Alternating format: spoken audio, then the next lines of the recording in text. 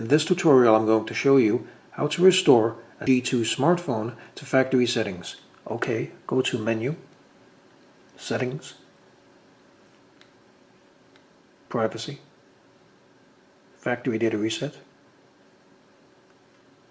Reset Phone, erase everything,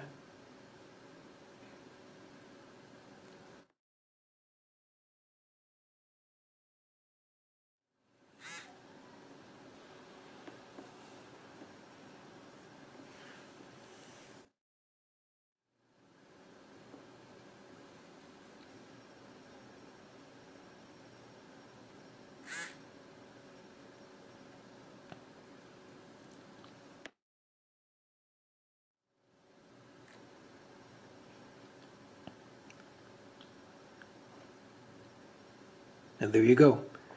The phone has been restored to factory settings. So I hope you found this video useful. If you have, please show your support for this channel by subscribing.